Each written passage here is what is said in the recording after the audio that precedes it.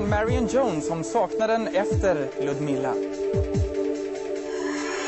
Laddat returmöte på Råsunda ikväll. AIK mot IFK Göteborg. Möt Sveriges mest svårslagna OS-hopp.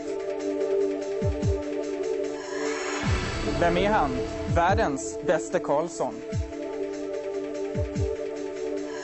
Och dramatik och tårar i Tysklands Grand Prix.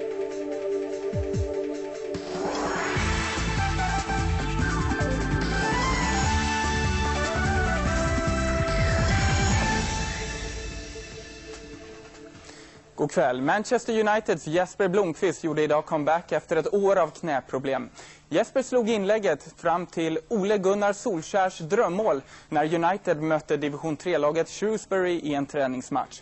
United vann med 8-1 och Jespers karriär som ett tag såg ut att vara över är alltså på rätt väg. Snart väntar ju VM-kvalet. Och just nu spelar Henke Larsson ligapremiär med sitt Celtic borta mot Dundee United. Och målkungen Larsson gjorde 1-0 i slutet av den första halvleken.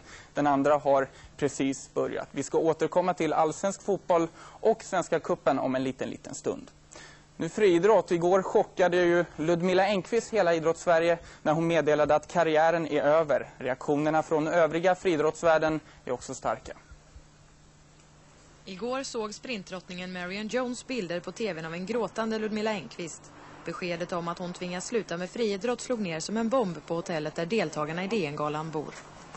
You know, I've been a huge Ludmilla fan and, you know, obviously um, knowing that she's gone through the problems this year with her legs and, and seeing yesterday at the same time I saw her in Sports Center and it was in another language so I really couldn't understand but I think I, I understood the point the fact that she was retiring and it's really sad for the sport you have one of the most dominant you know hurdlers in the world and what a great personality she is and the fact that um, she's decided to hang up her spikes it's um, you know it's sad I think for everybody in the track and field community Is it important that she was 36 and still the best, one of the best?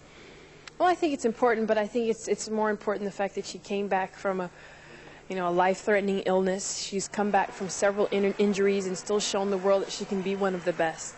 Ludmillas karriär tog slut som 36-åring med ett smått fantastiskt facit. 90% av alla lopp hon ställde upp i vann hon. 25-åriga Marion har svårt att tro att hennes karriär ska vara i 11 år till. Oh, I don't think I'm going to be in the sport that long. Um, you know, I would love to end my career whenever I decide to, um, with as many victories as that. But um, I think any young person who decides to get in this sport, they can look towards her as a role model, and they could pattern their career after her. They'd be very successful. Medan Ludmilla nu siktar på att bli historisk genom att ta medalj i såväl sommar som vinter-OS tänker Marion bli historisk redan i september. Fem guld i Sydney i målet, ett mål som borde innebära en enorm press. You see it as a lot of pressure, but I just see it as something, you know, that's I think is possible that I can do. Um, although the story has taken a life of its own and has seemed to just, you know, taken the world by storm, to me it's just going to be another big meet in my career. Men redan på tisdag har Marion siktet inställt på rekord och hon nöjer sig inte med guld. I'm still looking for that diamond. I've yet to obtain it. All of my teammates and all the people around me are walking around with these big diamonds in their ears, and I'm still walking around with gold. So I'm, I'm hoping to come here and hopefully Mother Nature looks out for me and I don't have uh, too much of a positive win, and, and maybe I could set that stadium record. I'd like that. Mm. Ingen Ludmilla till de här olympiska spelen alltså, men det finns en arvtagerska. Junioren Susanna Kallur är redan bäst i Sverige efter Ludmilla och är på väg att bli vår nästa stora häckstjärna. 19-åriga Susanna Kallur från Falun är en riktigt dålig förlorare. Hon är målmedveten, lite smådivig, sprallig och positiv. Stämmer det? Vad vill du lägga till och vad vill du dra ifrån? Ja, divig stämmer nog inte. Sen var det någon mer i början, vad sa du? Riktigt dålig förlorare? Ja, nej det är jag inte heller. Okej, vi gör om för det här stämmer bättre in på Ludmillas efterträdare. 19-åriga Susanna Kallu från Falun är en riktigt bra vinnare. Hon är målmedveten, oerhört ödmjuk, sprallig och positiv. Hur känner du när vi säger att du är Ludmillas efterträdare? Ja, jag ska försöka ersätta henne på bästa sätt men eh, det går inte att, det finns ju ingen som kan ta hennes plats men jag ska göra mitt bästa. Vad tänkte du när du hörde att hon skulle sluta? Och jag tyckte det var jättesynd. Jättesynd är det. På DN-galan i fjol då Ludmilla gjorde comeback mitt under sin cancerbehandling sprang Susanna på bana 8 i samma lopp. Men hon kunde inte låta bli att ha lite koll på sin förebild. Ja, det var, jag tror det var mitt uppslaget i någon tidning. Så var det precis bild över mållinjen. Och så ser man Ludmilla göra liksom segergesten. Så ser man mig längst ut på kanten ungefär 10 meter bakom. Så ser man att jag tittar över mållinjen och ser liksom vem som ska vinna. 13.10 har Susanna gjort som bäst och på världsrankingen ligger hon 47. De 46 som är före henne är nästan samtliga födda i slutet av 60- eller början av 70-talet. Susanna är faktiskt ensam på rankingen om att vara 80-talist. Hon är alltså världens bästa 19-åring men pressen som det medför känner hon inte som något jobbigt. Nej, jag tycker nästan tvärtom att det är skönt när man har press på sig så att det blir lite... När man har liksom chans att visa att nu jäklar. Mm. Till Råsunda nu och kvällens heta returmöte i toppen av allsvenskan AIK mot IFK Göteborg. Ja, prestigemötet på Råsunda lockade stor publik. 20 650 på plats fick se en tempofylld inledning. Hörna IFK Göteborg. Håkan Mild noteras för IFKs första möjlighet. När Boston Novakovic är åter skadefri och inte pikt. AIK ropar på straff, men domare Sten Johansson väljer att fria. Efter 15 minuter så dog faktiskt den första halvleken. AIK lyckades inte komma igenom IFKs bastanta försvarsmur. AIK fick faktiskt inte iväg ett enda skott på mål i den första halvleken. IFK var faktiskt inte mycket bättre. Göteborgarna var starkare i huvudspelet. Men inte heller IFK mäktade att få bollen på mål under de första 45 minuterna. Ja, det har inte blivit så mycket spel som vi hade velat att det ska vara. Det är bland annat Per Karlsson ligger och punktmarkerar mig nästan, så vi har lite svårt i uppspelsfasen. Men vi får försöka hitta lite andra vägar nu andra halvlek. Du har spelat på Råsunda många år. Hur känns den nya matta? Än så länge har den väl inte riktigt satt sig, så, men eh, den kommer nog bli väldigt bra om ett tag. Inledningen på den andra halvleken betydligt piggare. Novakovic till Isisaki. Nicken tvingar Bengt Andersson att tänja ut rejält. Och sekunderna senare ropade Råsunda-publiken åter på straff. Domaren friade åter. Tre minuter senare nästa straffsituation. Återigen vinkar Sten Johansson avvärjande, men var det inte hans här på Jon Inge Höjland.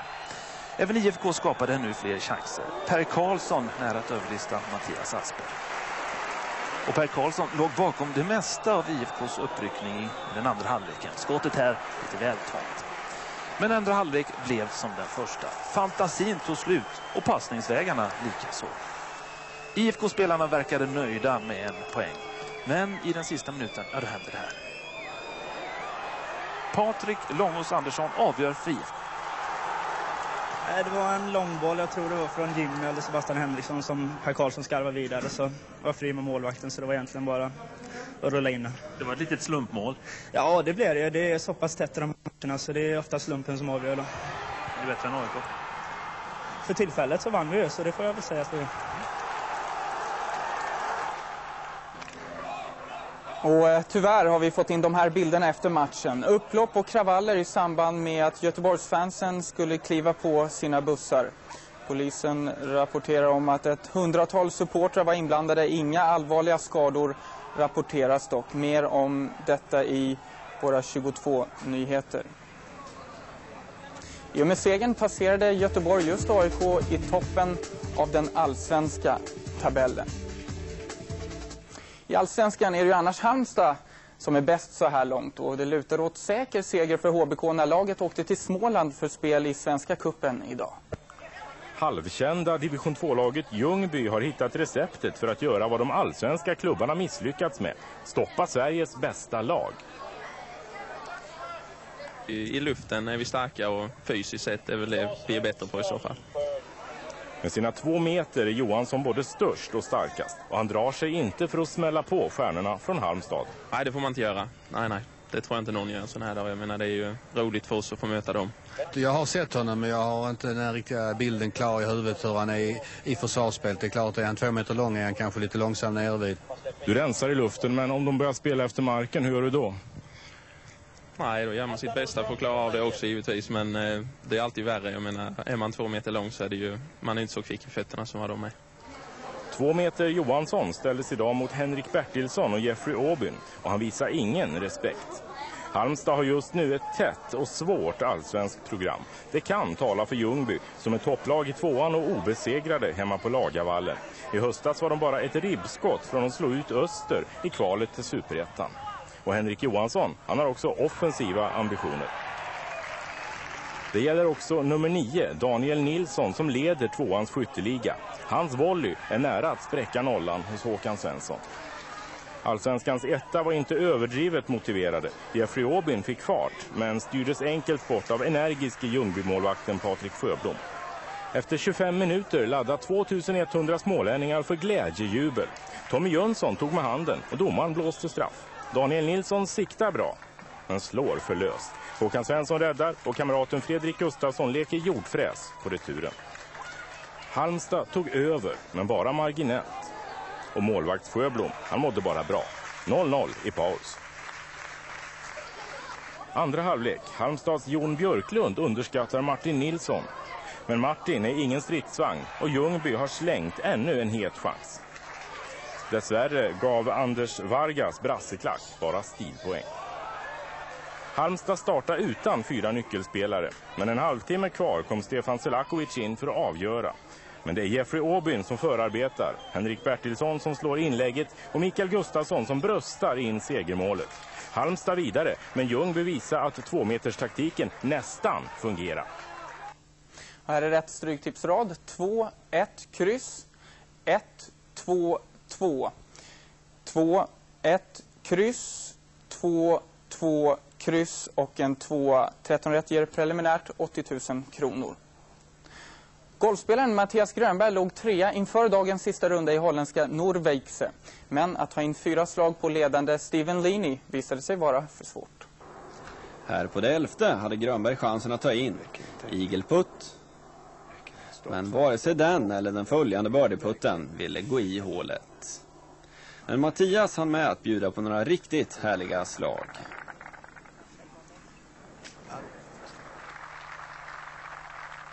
Han slutade totalt på minus 14 och på en delad tredjeplats. Ett slag efter den tyska veteranen Bernhard Langer. Men ingen kunde göra något åt Australiens Steven Leaney. Leaney var i täten redan efter första dagen och han stannade där. Totalt slutade han på minus 19. Fyra slag ner till tvåan. Så eh, motor och Formel 1. Dramatik och tårar, där har ni huvudingredienserna från Tysklands Grand Prix på Hockenheim idag. Mika Häkkinen fick en fantastisk start av loppet och avancerade direkt från sin tredje startposition till ledning in i första kurvan. VM-ledande hemmaföraren Mikael Schumacher hade otur igen. Idag blev han påkörd bakifrån av Giancarlo Fisichella i starten och tvingades bryta loppet. För 14 dagar sedan i Österrike var det Cardo Sonta som körde på honom bakifrån med samma resultat. Häckinen ledde loppet övertygande när en åskådare tog sig in på banan. Säkerhetsbilen kallades ut, fältet trycktes ihop och när det sen började regna över delar av banan valde McLaren att sätta på regndäck på sina bilar. Rubens Barrichello fick order att vara kvar på banan med torrdäck på sin Ferrari. Chansningen höll. Barrichello som hade 18 startposition vann mycket överraskande här i Tyskland och tog sin första VM-seger i sitt 124 Formel 1-lopp. Tvåa Micke Häkkinen, trea David Coulthard. Det var en mycket, mycket lycklig vinnare som stod överst på prispallen idag. Well, I, I just feel great. I mean, it was. I mean, I hear um, I hear the guys saying that the last lap when you're going you're going to win, you know, it's such a long lap, and you know, I had lost the the taste almost because it was such a long time ago. I couldn't believe. I couldn't believe. I'm, I'm just. Uh, I can't believe my eyes too. I VM leder fortfarande Mikael Schumacher, nu bara två poäng före Häkkinen och Coulthard som bägge delar på andra platsen. Inför gårdagens fjärde VM-deltävling i speedway i engelska Coventry toppade Tony Rickardsson VM-tabellen, men han hade inte sitt vanliga flyt i åkningen. Här semifinal.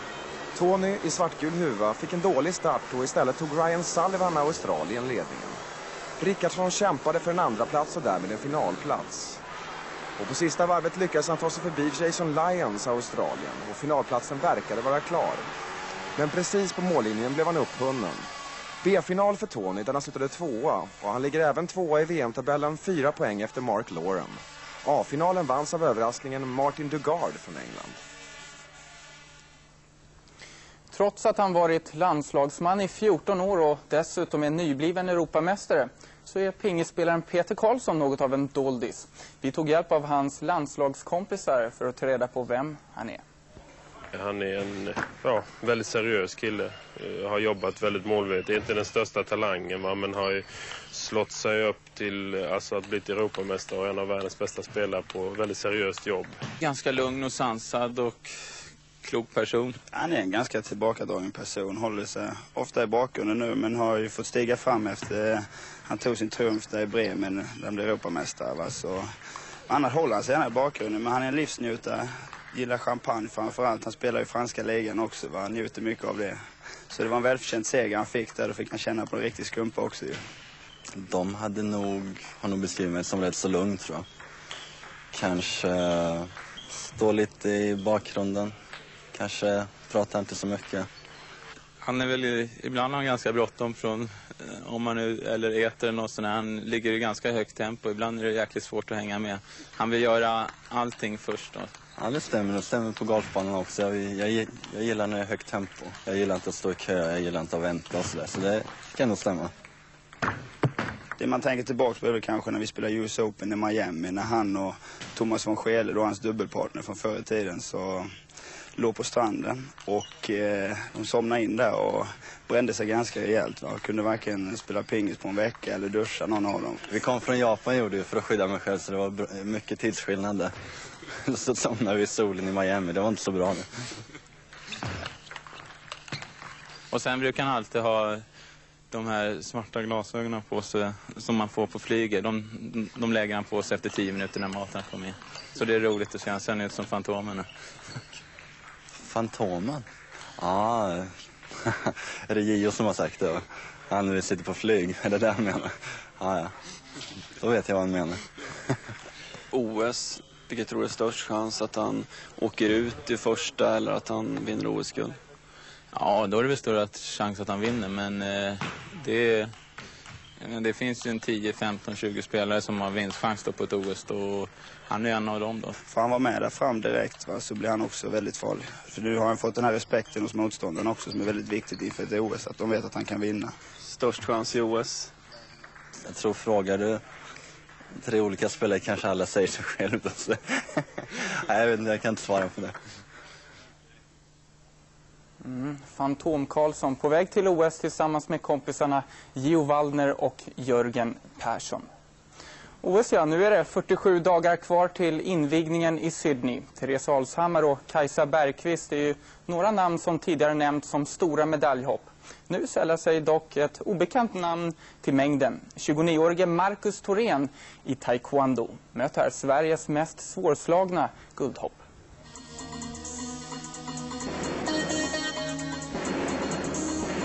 Taekwondo handlar, handlar om list. Det är, det är som schack lite grann. Att jag måste förutse hans rörelser och helst frammana Och om jag verkligen kan bemästra honom då kan jag genom mitt sätt att agera få honom att göra saker som jag vill.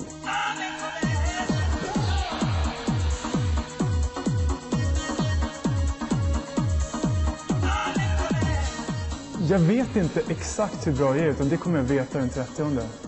Jag är så pass bra så att jag har möjlighet att ta guld.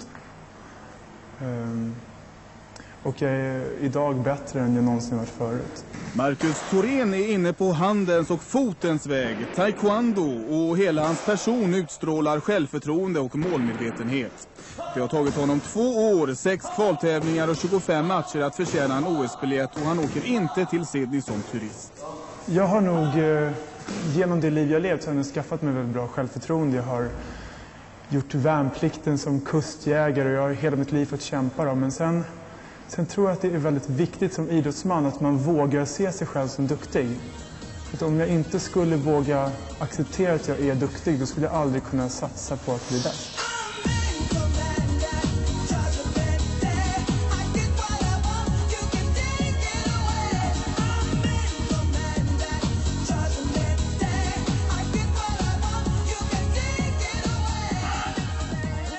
När man tävlar taekwondo första matcherna när man är nybörjare då är det ofta väldigt mycket adrenalin och det är ju trots allt det klassiska eh, man mot man eller kvinna mot kvinna som ska göra upp i en match.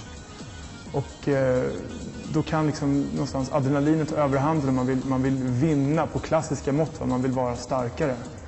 Eh, nu när jag blivit så pass rutinerad som jag ändå är med 200 matcher i ryggen så, så ser jag det på ett helt annat sätt. Nu handlar det om att ta den där poängen.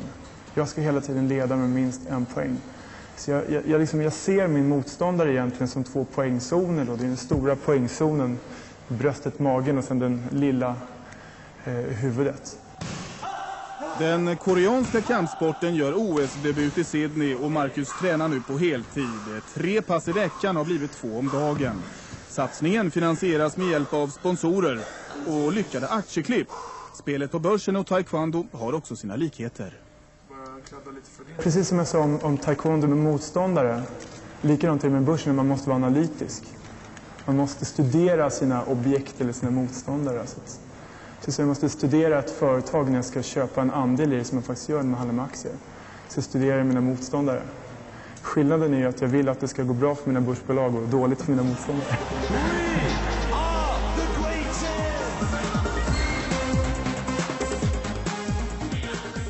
Han har en tredjeplats från World Cup och seger mot världsettan eh, Pascal Jeantil som främsta meriter. Lägg där till tre nordiska mästerskap och fem svenska. I Sverige var Marcus eh, obesegrad i sju år. Jag tror inte att eh, jag är så macho. Så att jag försöker att göra saker och ting ordentligt. Det är väl...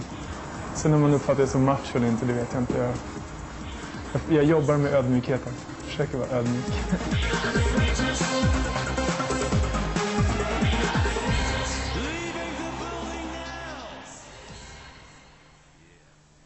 har vi en medalj i Marcus Thorén. Ta nu ett stadigt grepp om din tv-kompis för kanske finns du med på veckans lista. Förra året blev han utskrattad i hela Sydamerika efter att ha vikt ut sig i en brasiliansk gay-tidning. Men i veckan gav brassen Vampeta belackarna svar på tal. Med två av tre mål i VM-kvalmatchen mot Argentina visade vampyrjäveln, som artistnamnet faktiskt betyder, att han är mer än bara ett fagert ansikte. Efter att favoriten och VM-ettan Michael Schumacher blivit påkörd i sin Ferrari kunde stallkompisen Baricello stortjutande men överlyckligt ta plats överst på prispallen. Formel 1-segern idag i tyska Hockenheim var Baricellos första på 124 starter. Min karriär är slut nu som, som friidrottare. Till slut satte alltså skadorna stopp för Sveriges mest folkkära Ludmilla. Men häcklöperskan Enqvist med två VM-guld och ett OS-guld i bagaget är inte känd för att ge upp. Förra året knep hon ett VM-brons mitt under pågående cancerbehandling. Och nu satsar Ludmilla Enqvist på vinter-OS 2002 i bobsleigh. Inför de amerikanska OS-uttagningarna på 200 meter tävlade Michael Johnson och Maurice Green om vem som kunde skryta högst och skryta bäst. Men otroligt nog skadades båda favoriterna och tvingades snopet bryta. Den som gapar efter mycket missar ibland hela festen. Mm. Henke Larsson alltså målskytt för Celtic borta mot Dundee United ikväll. Det står 1-1 med cirka 20 minuter kvar. Och jag vågar nog lova bilder på Henkes mål i Nyhetsmorgon imorgon bitti. Eller ska vi redan nu ta och titta på Henke Larssons mål? Får vi Henke? The latest action from Tannadice, where Dundee United are playing Celtic in Martin O'Neill's first competitive match in charge. Celtic, i kvällens bortamatch season. Dundee United. Till sist vill vi visa hur man inte ska göra om man tjänar några miljoner om året på att vara baseballproffs i USA.